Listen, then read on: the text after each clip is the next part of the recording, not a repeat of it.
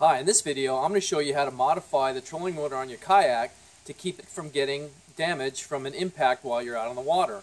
I'm also going to show you how I made an easy cable lift system so you can trim the depth of your trolling motor while you're out on the water.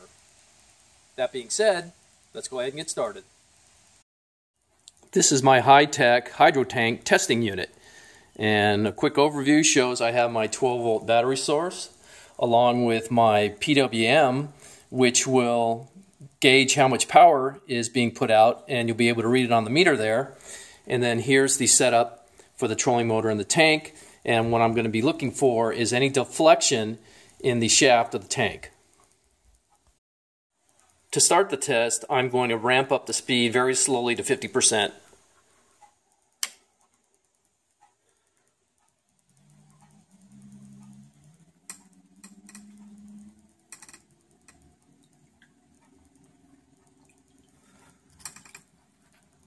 And there's no deflection of the trolling motor shaft. Now I'm going to ramp it up to 100%.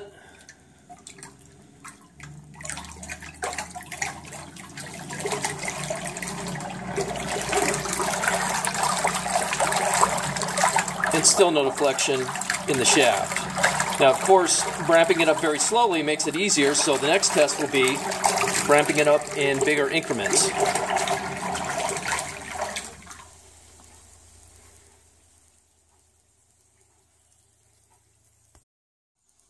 Now that you've seen how the initial test works, I'm just going to do a close-up on the shaft and I'm going to ramp it up quickly to 50% power.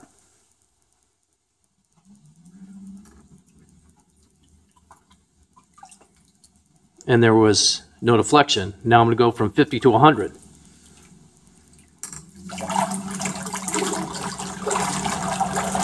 Still no deflection. But now I'm going to go from 0 to 100 and see how that goes.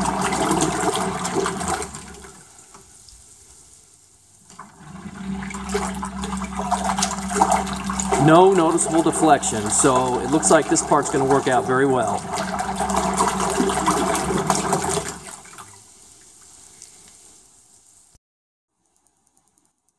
These are the parts I'm going to be using in the impact resistance setup along with the cable lift system. And as you can see right here, I have a stainless steel pulley.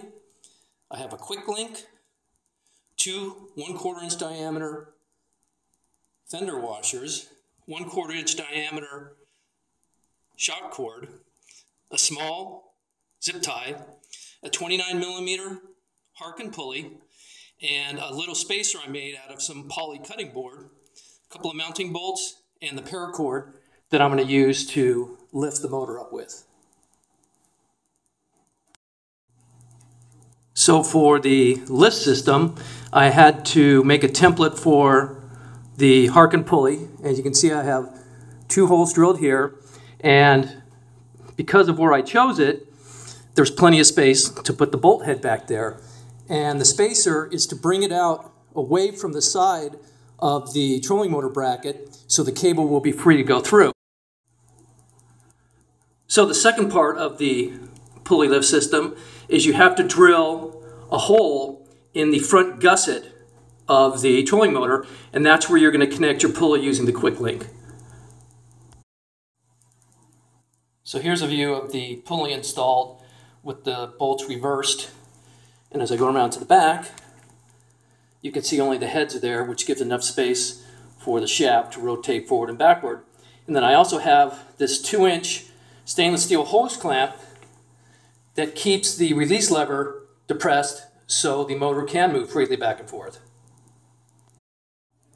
Okay, I know I've skipped some steps, but they're pretty easy. What I did was I connected the quick link to the gusset hole that I drilled previously, then attached the stainless steel pulley. And then I also threaded the paracord, which is going to be the lifting cable. And what I did on this side was threaded the paracord through the last hole in the bracket, and then that goes down through the pulley. And then it goes up through the Harken pulley, ready to be pulled. And the important thing in here is with that V shape, that you have in your cord, it gives you a lot better power to pull up the trolling motor. Now this is the part that is going to allow the trolling motor to take some kinds of impact. So what I did was I took the quarter inch shock cord, threaded it through one of the quarter inch fender bolts, and then threaded it through the third from the bottom hole in the trolling motor bracket. Then I wrapped it around the shaft bracket and out the opposite side of the third hole with another fender bolt and a zip tie, just in case something hits really hard, it should break it loose. And the important thing is to have the shock cord on this bracket because that won't interfere with the rotation of the shaft. And you can set your own tension depending on what you think will work best. So this is what it is. And if you go too far back, it pops there. But it'll be enough to keep everything working.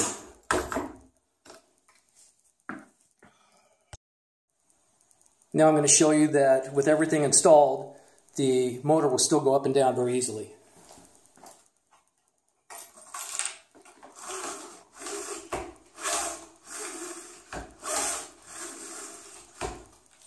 Shock cord works a lot better. I was going to try using a spring, but to get the right tension, the spring has to be very tight against the trolling motor shaft, and that causes it to scratch it and damage it. So that's why I went with the shock cord. And eventually it'll wear out, but it should last you a long time. So that's it. If you have any questions, please leave them for me in the comments. Thank you.